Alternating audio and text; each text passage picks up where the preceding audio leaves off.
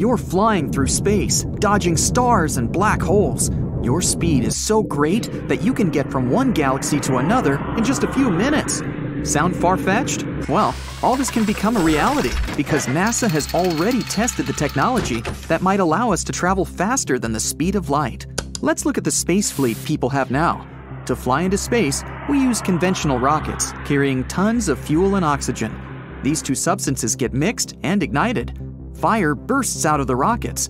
The exhaust gases move downward, and the rockets move upward, as if pushing off of them. That's how jet propulsion works. This way, we can make the rocket move at almost 5 miles per second. At that speed, you could cross the United States from coast to coast in a mere 8.5 minutes. But if we talk about space, that's very slow. A trip to a neighboring planet, like Mars, takes about 7 months, and a trip to the edge of the solar system would take about 35 years. That's how long it took the Voyager space probe, launched in 1977, to get there.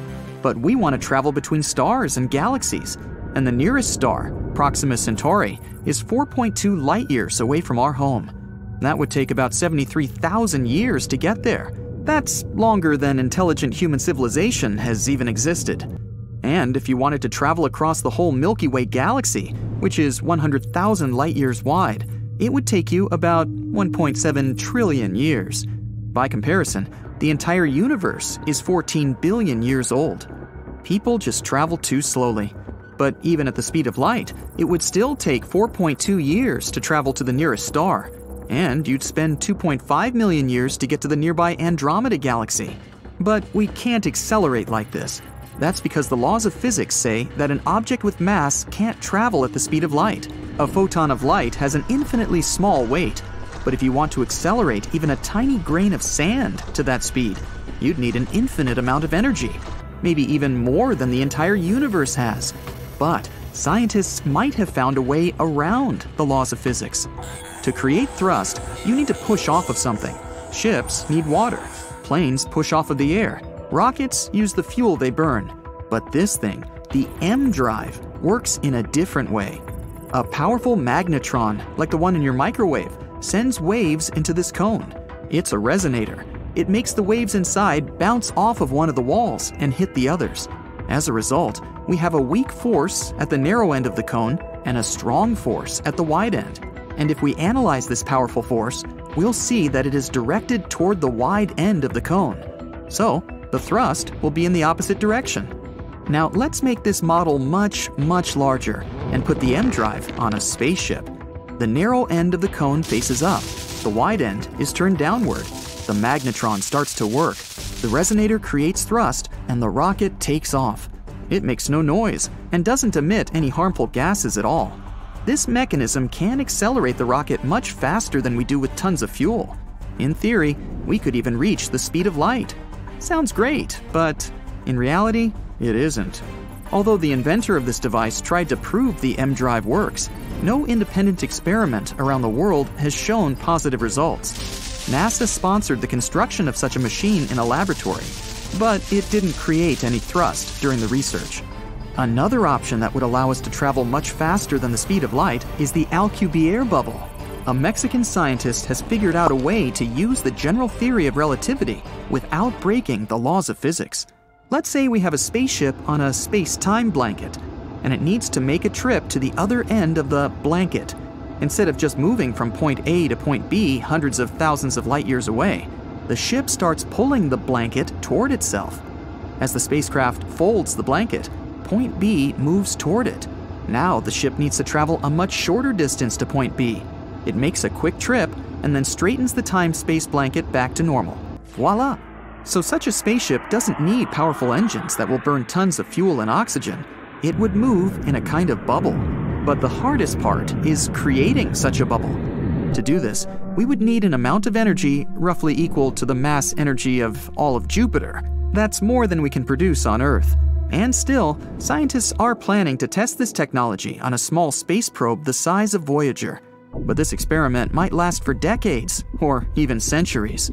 Now, scientists are trying to reach at least 20% of the speed of light using a laser, and they're planning to get to Proxima Centauri in about 30 years. It's likely to happen like this A mothership will launch from Earth. It'll carry thousands of fingernail sized space probes. After reaching orbit, the mothership will launch the probes into space. Each probe will then deploy a sail, a thin, reflective piece of material the size of a parking lot. Then people will focus a powerful laser beam from Earth directly onto the probe's sails. This will give them an acceleration 1,000 times as strong as the acceleration of free fall on Earth. One by one, the probes will launch and head for their destination. We won't even have to maintain that laser beam all the time. If you turn off the engines of a regular ship on the water, it'll start to lose speed due to friction with the water. But space is an almost perfect vacuum. There's literally nothing there, so there's no friction. All we have to do is accelerate the probes to the needed speed. At 20% of the speed of light, these probes could reach the Sun in just 40 minutes. But instead, they will head for the star Proxima Centauri. After about 30 years of travel, four more years will pass before we get a signal from the probes there are several exoplanets in this system, and some scientists hope to find at least traces of life there. But this sail technology can be used in space even without a powerful laser. We can use the sun. If we create a sail the size of a soccer field and unfold it in space, it'll start catching the sun's rays. And since the surface of the sail is reflective, the rays will bounce off the sail. This will create thrust and propel the spacecraft. One disadvantage of this technology is that we can only use it inside the solar system.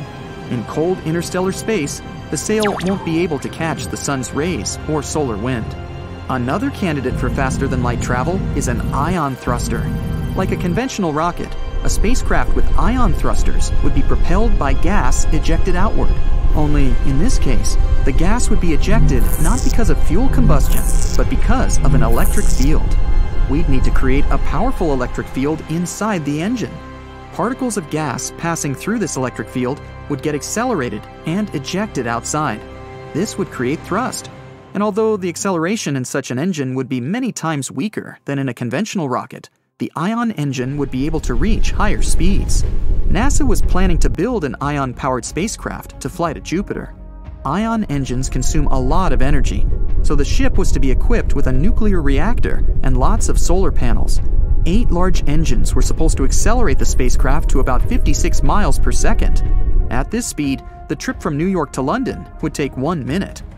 So far, this technology has been actively tested on different space probes, but it can't provide a solution to how to travel faster than the speed of light. Perhaps people will still be able to travel between galaxies in conventional rockets, but they'll need to use some sort of shortcuts called wormholes. So, back to our space time blanket. Point A lies at one end, and point B is at the other. Instead of traveling across the entire blanket for millions of years, you can simply fold it. Then point B will be right above point A, and you can quickly get there through a short tunnel between them. Such tunnels are called wormholes. Some scientists believe that wormholes can be inside black holes, but there are two problems here. The nearest black hole is 1500 light years away, so a trip there would take eons. The second problem is the hole's gravity. Black holes have the strongest gravitational pull of any object in the universe. Their gravity can crush any spacecraft. That's because the gravitational force increases with every inch you move closer to the black hole's center, and the force affecting the nose of the spaceship will be much stronger than the force that affects the tail. The spaceship will stretch out like spaghetti and get torn apart. But there's a theory claiming that a spacecraft or even a person can survive falling into a black hole, but only if the black hole is supermassive, like the ones that lie in the centers of galaxies. They can be millions and billions of times heavier than the Sun. But even though they're heavier, they're also bigger in size. This means gravity probably doesn't increase so fast there, you or your spacecraft might not turn into spaghetti and might even get to see what's at the heart of the black hole.